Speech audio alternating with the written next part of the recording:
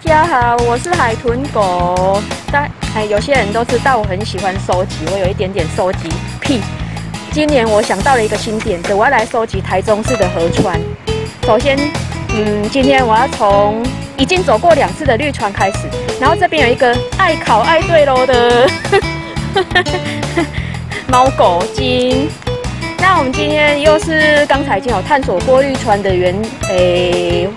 终点它会会到那个汉溪，但是那一边比较不适合散步，所以如果有朋友想要学我这样走一下绿川的话，我会建议从新大这一段开始走，那还可以把机车停在这个免费停车场，很方便。那新大这边绿川以前是在台中是很知名的恶臭的川，但是后来是政府已经把它都整修过了。然后分成三四期的工程整修，现在已经全部都完成了，可以一路走到诶干城那边。然后走完的话，单程其实也蛮近的，三点多公里而已。到底要多久？那这个是 My Sports，我现在就把运动记录设下去，然后我们就要出发了，Go！哎，走到这边，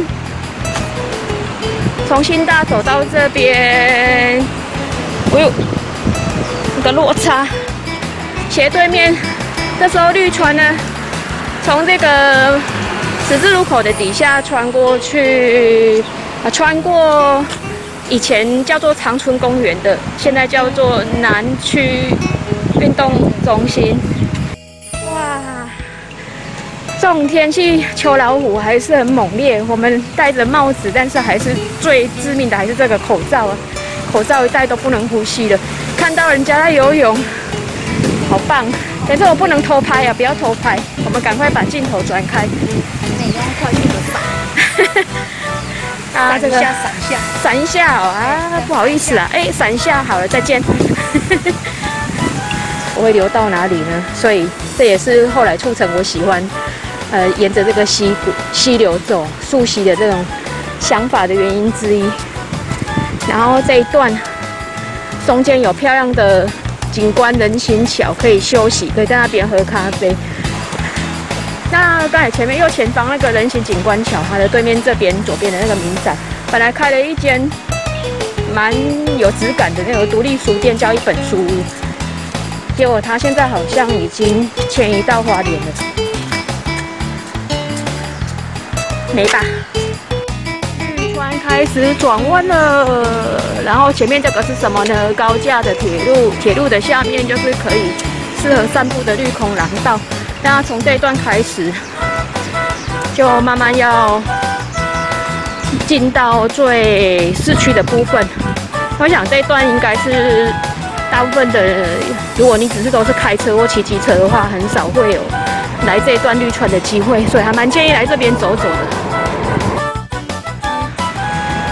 这边前面是台中火车站，好，现在这边来到建国绿桥，这里有一小段的绿川，藏在这个小角落，一般很容易忽略的地方，这里也不要错过啊！好，现在终于走到这边了，大家一定知道这里是哪里吧？大名鼎鼎的公园眼科，然后我相信很多朋友都是，如果一提到绿川的话，都是想到这个地方。那公园眼科的斜对面这边有一个激光香香鸡旗舰店，激光香香鸡也是我的最爱之一，因为它跟我一样老。今天中午应该要再来吃激光香香鸡，不，现在肚子也饿了。不过行程还剩一点点，我们绿川再往前走一下就到尽头了，回头再来吃激光香香鸡。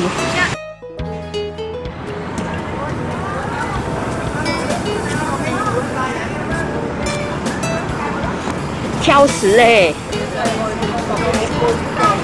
我们终于走到溯溪溯到这个绿川尽头了。尽头是什么？一个小瀑布啊！当然不可能这样子就没有了。但是这一段过后，就藏在地底下的，应该跟前面的台糖的那个湖有关联，是不是？我也不清楚。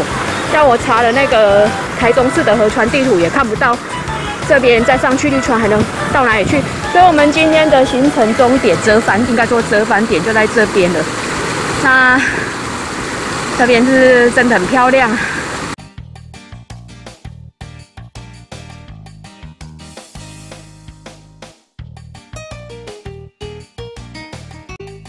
吃饱吃饱了，茶足饭饱。刚在聚光香香期吃完卤味，结果现在又要来买卤味了。激光香香鸡隔壁的隔壁是一家益美食品，那我个人是最推他们的水晶饺，你来一定要试试看他们的水晶饺。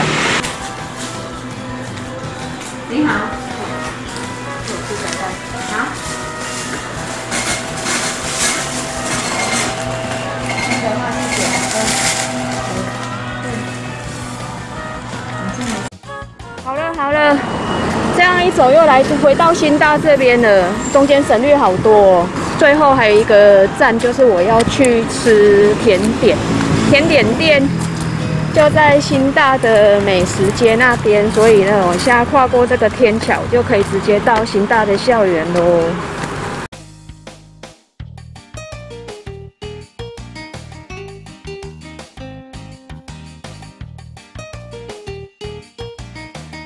然后现在这个地方大家都知道吧，就是中心湖。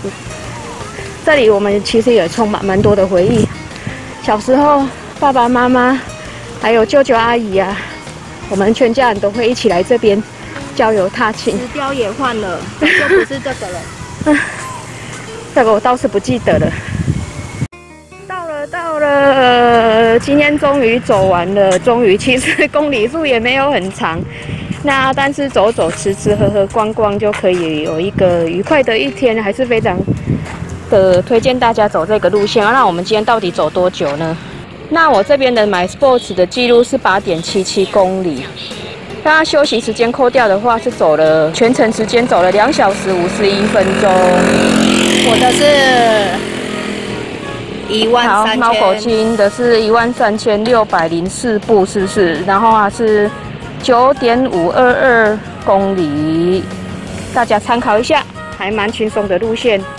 好了，今天的绿川溯溪之旅成功。